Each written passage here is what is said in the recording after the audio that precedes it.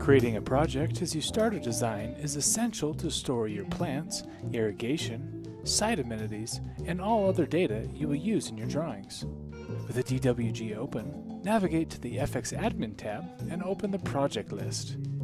Here is where you will start a new project, open an existing project, even save a project as a template. Once you start a new project, fill out the appropriate project number and project name. It is recommended that you look into keeping a proper naming structure to keep client types and project types as organized as possible. Base this project on a specific template that you've created, and make sure you set the proper preference set. Once you press OK, your project manager will open. This is the home base for this particular project, and you can get to each of the respective managers from here. You are now ready to start.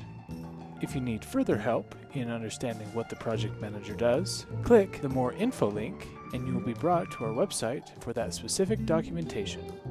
Once you press OK, set your plot scale so the system knows how to scale your hatches, fonts, and other Land F/X objects, and press OK.